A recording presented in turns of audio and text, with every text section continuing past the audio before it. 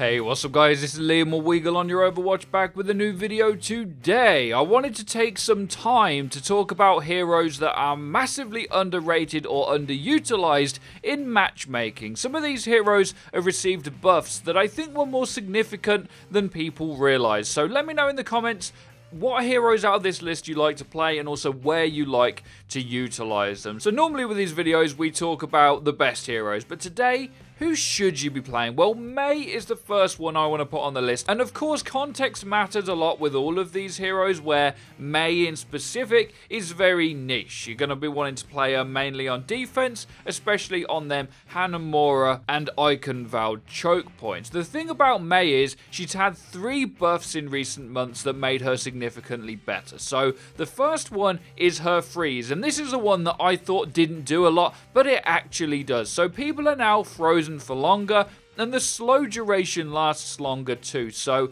if you get too close to a Mei, you can't really get away anymore because you're so much slower for so much longer. So that's one big deal. And secondly, she now uses a lot less resource when using her ranged icicle alternate fire. And this does a ton of damage. It does more damage than a McCree headshot up close. So it's very powerful. And on top of this, she also had the fact that anti-nade didn't really affect her anymore because when she goes into her icicle form to heal herself, it now removes statuses like anti-nade. So even though Mei didn't become the new Tracer or Genji, she did become better at what she does. So if you like Mei, have ever played her or have thought about it, I recommend you practice her in quick play, maybe even deathmatch with her a little bit, learn how to hit them headshots which now cost less resource and you can just put her in a choke when you've got a Reinhardt comp to follow up on it or even a Junkrat with it too. She can be really strong and you can also put her sometimes in the support slot and then run maybe a solo heal Moira or something depending on the context. She's very good against Reinhardt too and a lot of people are playing Reinhardt and she's also very good when the enemy team don't have a Lucio which is all of the time in matchmaking at most tiers. So anywhere there's a nasty choke point is exactly where you're going to want to run Mei, and she's definitely a lot better than what people are giving her credit for. Moving on, we have Doomfist, and this comes with a massive disclaimer. Doomfist has had so many bug fixes since his initial nerf back when he released that I couldn't even find them all if I wanted to. Honestly, his precision on his right click, his uppercut, his ground slam, even his ultimate and his hitbox at times has all been changed so much to make him way more consistent than he used to be. The problem with Doomfist is he's very difficult to play, considerably harder than Mei is. And I've tried to play him, and I played him on an alt account at Diamond, and I'm okay sometimes. But you see, amazing Doomfist at Masters and GM, and honestly, people do not know how to deal with him. But the big ad here is the amount of practice you'll need to have on him before you take him into a matchmaking is many, many hours. Getting the combos down, being able to slam the ground punch someone, but cut while shooting in between, all of them different animation cancels and also animation jumps you can use as well are very difficult to utilize. But the thing that Doomfist does is he can either defend a backline or or in matchmaking, be wherever he wants, whenever he wants. Because again, if people don't have that Lucio in the game, as long as they're not running McCree, Roadhog, Torbjorn, Doomfist can just get in the back line to kill something and then get out again very quickly and be used as a very successful pick-off hero. But back to that disclaimer, he is on a knife's edge of completely carrying your team and utterly throwing the entire game. If you're not getting them pickoffs or defending your backline with Doomfist,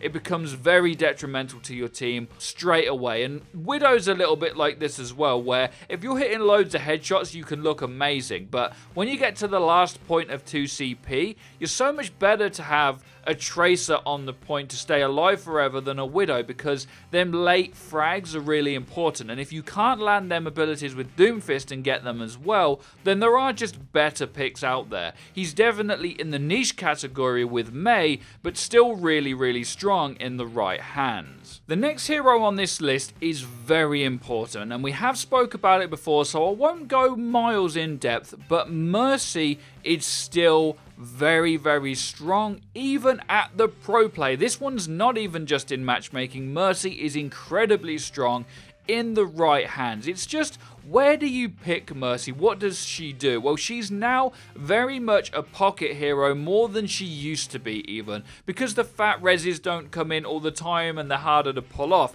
You used to be able to fly into the enemy backline and res a Winston with all his HP. That's not really something you can do anymore. But if you play Mercy when there's a Pharah, and if anyone ever picks Pharah on your team, you should always have a Mercy for so many different reasons. She props up Pharah to make her almost unkillable at a lot of levels of play. She can res the Pharah in the back line. She can also fly between her teammates to keep herself alive easier because if Pharah's up in the sky and something dives you, you always have that escape point to go to.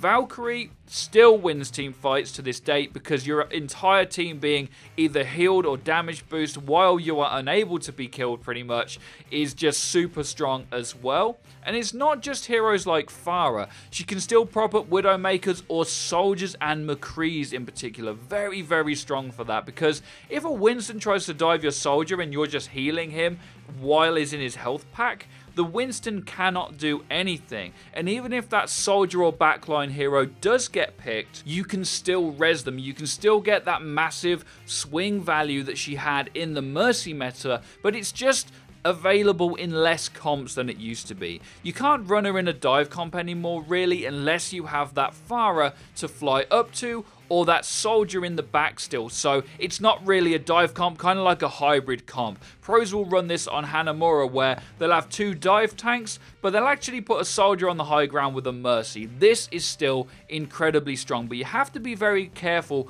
with your support picks nowadays, and that takes me straight into my next underrated hero, not only now, but forever is Lucio. Now, he had a fairly weak period over the last few months, but he's back in a big way for a lot of different reasons. So, Doomfist being better, Sombra being stronger, Traces and Genji still being a problem. One thing that Lucio does for all of these heroes is create problems. If they want to dive the back line and Lucio is there to peel for his other healer and boot them away, that is a big problem. I've even seen Dafran, who is one of the best aimers in the world, complain that you should never try and kill a Lucio as Tracer by shooting him, just leave him till the end of the fight because he's that difficult to kill. If Dafran can't shoot Lucio, then the chances are people in your games cannot shoot you as Lucio. And it is very difficult to know where to utilize him, but if you're playing on a support pick, maybe you're playing Ana or Zen and you're having an off game where you can't quite land the headshots on the Tracer or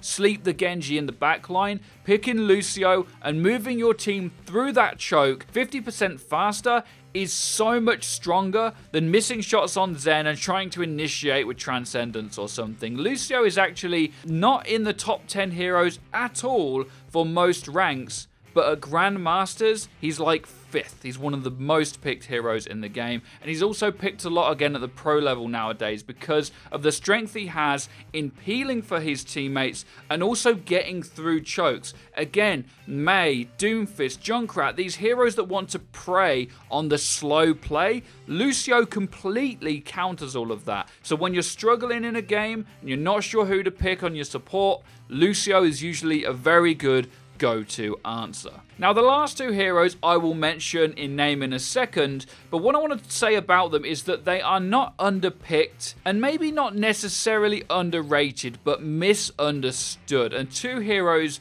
I want to talk about because they're very important. And these are D.Va and Junkrat. We'll start with Junkrat because it's quite quick. Basically, the nerf to his mines didn't make much of a difference and he is still incredible. Now, depending on the rank you play at when you're watching this video, you're probably thinking, I see him in every game. Well, at certain ranks, people are taking McCree's, Genji's, Tracers all the time, but if you just spam down a lane with Junkrat, he's incredibly strong still and underutilized for sure. You don't want a McCree on defense. Maybe you want Soldier Junkrat, but McCree Soldier's not a thing. McCree Tracer, why would you have that? I see maps like Dorado, people are trying to play McCree. Just play Junkrat, spam down the choke and win games. Honestly, guys, seriously underutilized. And D.Va even though has a really high pick rate right now at all levels of play, I want to talk about her because her playstyle is misunderstood. I know we've all seen the cinematic where D.Va's flying in, firing rockets, blowing stuff up, but really what you want to be doing as Diva, a lot of the time, is picking your battles. Go with your Winston, and when he dives in, eat up all that damage, and you'll just kill things. When there's a Tracer in the backline and neither of your supports will pick Lucio and you've got Ana Zen walking into a slow choke, if you peel as D.Va and just take care of that Tracer instead of being a mini D.Va main, which I've seen many of in matchmaking, you will win a lot more games. If you play D.Va to be the peel hero that she's really good at and then getting them big burst impact kills on the soldier on the high ground at the right time but not getting demeched, D.Va is actually low-key the best hero in the game right now, and a lot of people don't realize it because they don't play her right. So we've got some D.Va guys on the channel. I'm sure there's others around as well that you can check out. So they're my six heroes that I think you guys should take a look at. Mei and Doomfist, very good in the right context. Lucio and Mercy, oh my god, they're so much better than anyone gives them credit for. And D.Va and Junkrat, take a think about how you're playing them, where you're playing them, or why maybe you're not playing Junkrat, because honestly, you should be. Also, Mercy's great with a Junkrat as well. So let us know what you guys think in the comment section down below. I'd love to hear your thoughts and opinions on the meta and the picks that you want to pick, or any team comp ideas that you might have. Be sure to drop a like, as it does help us out and lets us know that you're enjoying the content, and you're going to want to hit that bell icon so you get notified when our videos go live, because we upload each and every day, as Freedo always tells you. So you should have a great day as always, guys. Take care and peace, people.